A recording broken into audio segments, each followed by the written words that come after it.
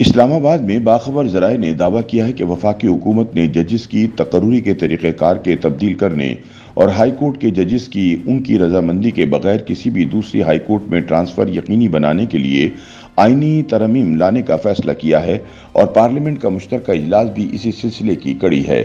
ذرائع کے مطابق وزارت قانون نے آئینی ترمیم کا جو مسودہ تیار کیا ہے اس میں ججز کی تقرری سے متعلق آئین کے آرٹیکل 175 اے میں ترمیم کی تجویز دی گئی ہے، جس سے جوڈیشل کمیشن کی ساخت تبدیل ہو جائے گی۔ یوں ججز کے تقرر میں عدلیہ کا اختیار کم ہو جائے گا اور حکومتی کردار بڑھا دیا جائے گا۔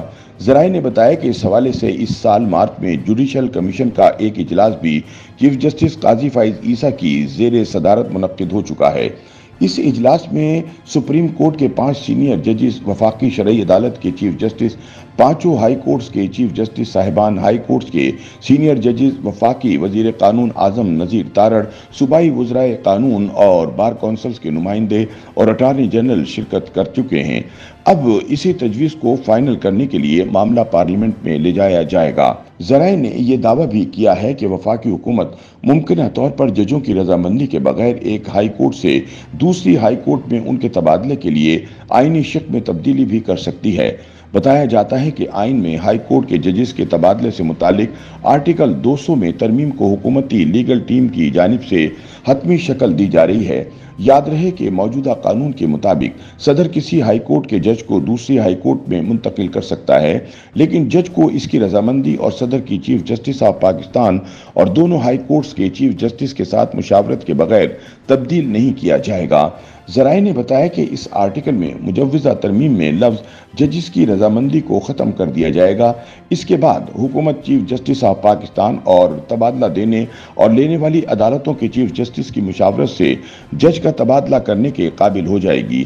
یوں حکومت کو ان ججوں سے جان چھڑوانے میں آسانی ہو جائے گی جو تحریک انصاف یا کسی اور جماعت کا سیاسی ایجنڈا آگے بڑھاتے ہوئے مرضی کے فیصلے کرتے ہیں۔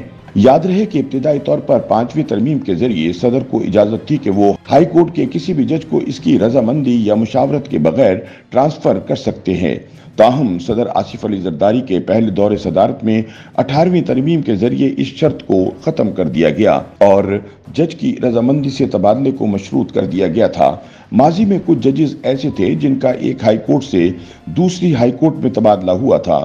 فروری دو ہزار آٹھ میں لاہور ہائی کورٹ کے جسٹس سردار محمد اسلم کا اسلام آباد ہائی کورٹ میں تبادلہ کر دیا گیا، جبکہ دو ہزار نو میں ہائی کورٹ کے جسٹس ایم بلال خان کو اسلام آباد ہائی کورٹ کے چیف جسٹس کے طور پر تبدیل کر دیا گیا۔ تاہم اس کے بعد اسلام آباد ہائی کورٹ کو ختم کر دیا گیا، کیونکہ یہ ریٹائرڈ جنرل پرویز مشرف کے جاری کردہ عبوری آئینی آرڈر یعنی پی سی او کے تحت تشکیل دیا گیا تھا۔ اٹھارویں ترمیم کے تحت اسلام آباد ہائی کورٹ کے دوبارہ قیام کے بعد لاہور ہائی کورٹ کے ایک اور جج جسٹس اقبال حبید الرحمان کو اسلام آباد ہائی کورٹ کا چیف جسٹس بنایا گیا تھا۔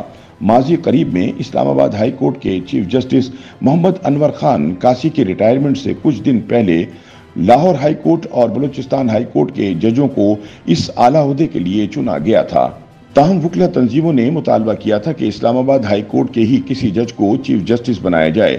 بلاخر جسٹس اتھر من اللہ کو اس عہدے پر فائز کر دیا گیا تھا۔ اگر جسٹس شوکت صدیقی کو فیض حمید ان کے عہدے سے برطرف نہ کرواتا، تو اتھر من اللہ کی جگہ وہ چیف جسٹس بنتے۔ ایک سینئر حکومتی اہلکار نے بتایا کہ اس بل کو جلد ہی پارلیمنٹ کے سامنے پیش کیے جانے کا امکان ہے۔ انہوں نے دعویٰ کیا کہ حکمران اتحاد اس بل کو پارلیمنٹ کے دونوں ایوانوں سے منظور کروانے میں کامیاب ہو جائے گا۔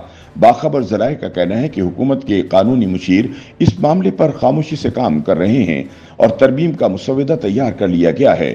تبصرے کے لیے رابطہ کرنے پر وزارت قانون و انصاف کے سیکٹری راجہ نعیم اکبر نے اس پیش رفت سے لا کا اظہار کیا۔ انہوں نے بتایا کہ انہیں قانون سازی کا مسودہ تیار کرنے کی ہدایت نہیں کی گئی ہے۔